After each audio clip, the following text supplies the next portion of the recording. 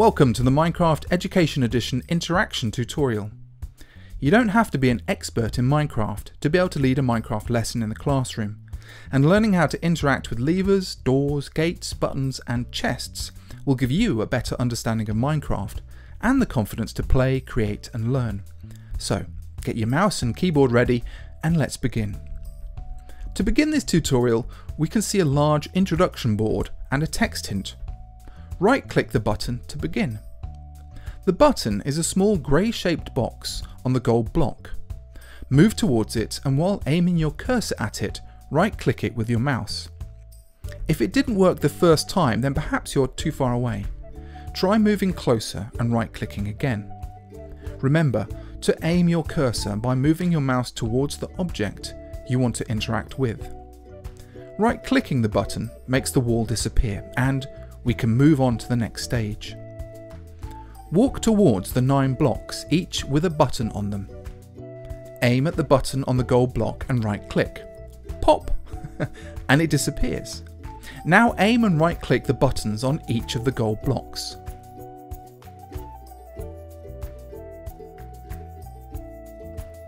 Wonderful! The next room has a barrier and a lever. Levers, like buttons, can activate things, but can be toggled on and off, like this. Open, close, open, close, open. Uh, okay, okay, let's move on. Open the rest of the barriers and make your way to the next room. Here we find a door.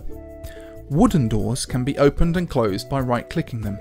Have a go and then move on to the corridor of doors.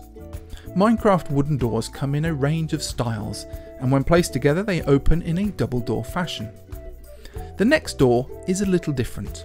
This is an iron door and requires power to open it. A lever is perfect for this job. It can be toggled on and off. The next obstacle challenge has some fences and gates to open. Like doors, simply right clicking a gate is all that you need to do to open it. Gates are smaller though, so make sure you aim your cursor at the gate when you right click it. An open gate can be closed by right clicking the gap between the two halves of the gate. You might also see a black outline when you're close enough to interact with the gate.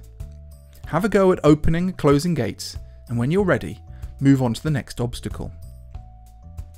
This is a wooden trapdoor, and to get past, you guessed it, we right click it. The next trapdoor is made of iron, and like the iron door, it requires power. Right click the lever to toggle the power on and move through. This room contains a chest. Chests are great for storing items and treasure, so move towards it and right click it. This opens up a new interface. At the top of this interface are the contents of the chest, and below is our inventory, which is empty. So let's grab all that lovely shiny loot. When you're in the chest interface, you cannot move using your keyboard and your mouse no longer tracks where you look. This allows you to move items from a chest to your inventory. To do this, left click a stack of items in the chest with your mouse and cursor. This picks them up, and then left click an empty slot in your inventory to put them down. Go grab the rest. For a top tip, if you press shift and left click an item or a stack of items in a chest, they will automatically be zoomed into your inventory. This makes things a lot quicker. To close the chest and come out of the interface, click the cross in the upper right corner or press the escape key. Now that we've filled our pockets with gold and diamonds, the next room has opened and we can see an NPC character standing there. Even if you have an item in your hand, you can still right click NPCs.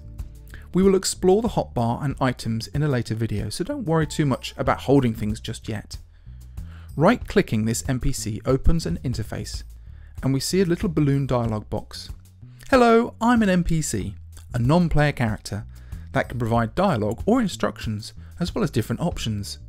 Try clicking the buttons below to see some of the different things I can do. When you close this dialog by clicking a button below or hitting the cross in the corner, the next gate will open. Congratulations, you've completed the lesson.